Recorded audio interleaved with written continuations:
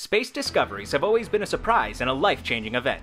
Every minor discovery has always been supported by science, and every circumstance has been reversed. After one such discovery, it has defied some of the discoveries by scientists. Let's check out that discovery. Welcome back to the Theory of Science. Have you ever thought of how scientists try to conclude after discovering something? Don't forget to subscribe or a black hole will come by and suck you in.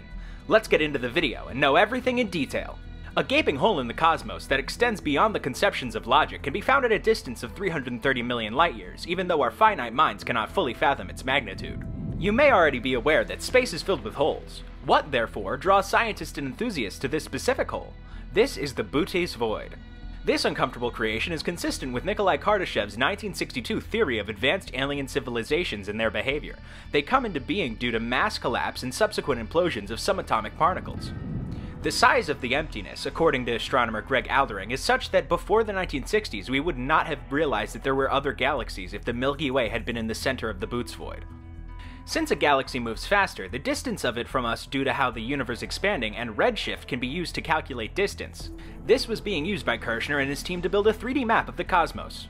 Something unusual emerged as the map filled in. A blank emptiness lay 700 million light years from Earth, which is 0.27% of the observable universe.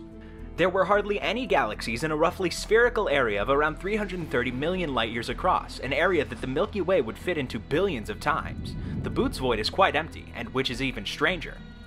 Initially known as the Great Nothing, the area later earned the name Bootes Void because it appears to be in the constellation of Bootes, the herdsman who pulls the plow around the northern pole. Part of the void near the edge comprises the Hercules supercluster.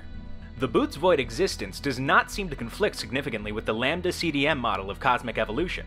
Similar to how soap bubbles combine to form more giant bubbles, it's been proposed that the Bootes void was created by a merger of smaller openings. This would explain the sparse population of galaxies found in a roughly tube-shaped region flowing through the center of the vacuum. The images of Barnard 6.8, a dark nebula that prevents light from passing through, have frequently been linked with the Bootes void.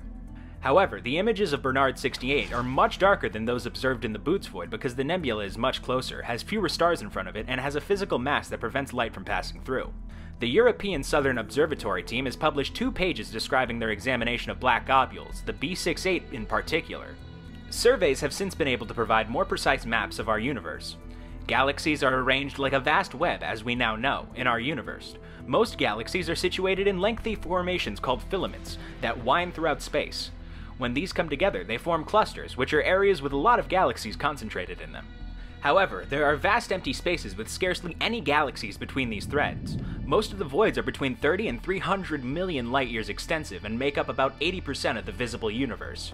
Bootes is one of the biggest and is known as a supervoid. Bootes is believed to be the result of smaller voids coming together. It is believed that the universe's beginning is what created these holes. The universe's substances was densely packed together in early moments of the cosmos. Minor variations in the distribution of matter were thought to have swiftly been formed by random quantum fluctuations from what was initially thought to be a homogeneous soup. Due to the universe's quickening expansion at the same time, these fluctuations, which began at the quantum level, eventually covered hundreds of millions of light years. Smaller clumps of matter started to organize themselves into galaxies in the meanwhile. Astronomers can acquire an insight into the early universe's appearance by analyzing these massive structures. Kirshner's maps may now be made in greater detail thanks to developments in telescope and image technology. One example is the Dark Energy Survey, which has mapped nearly a fourth of the southern sky while looking at some 300 million galaxies. The deep plunge into the Bootes vacuum will reveal all other mysteries surrounding it, and technological advancement has shown that what we see today is very different from what was discovered back then. Many astronomers believe that these unsettling places that reveal the universe's raw fabric could signpost to the next major discovery. They are currently engaged in a boom of cataloging and mapping voids. But does that imply that these cosmic gaps are utterly devoid of light, dark matter, and any observable radiation? Large scale underdense areas are called voids, but they don't have any matter at all. They do occur, even though massive galaxies within them may be uncommon. Even in the deepest, most barren cosmic emptiness we've yet discovered, a sizable galaxy still occupies the center. Supercomputers can now produce in-depth models of how the universe evolved from the earlier seconds following the Big Bang gave rise to the modern universe. Astronomers can start to grasp how our universe got to look the way it does today by comparing these maps with the simulations. We may soon be able to quantify dark energy, gravity, and any unknown new force more accurately than ever before, thanks to statistical analysis of their shapes. They might even teach us to accept the emptiness in the process. Also, check out our other videos on our YouTube channel.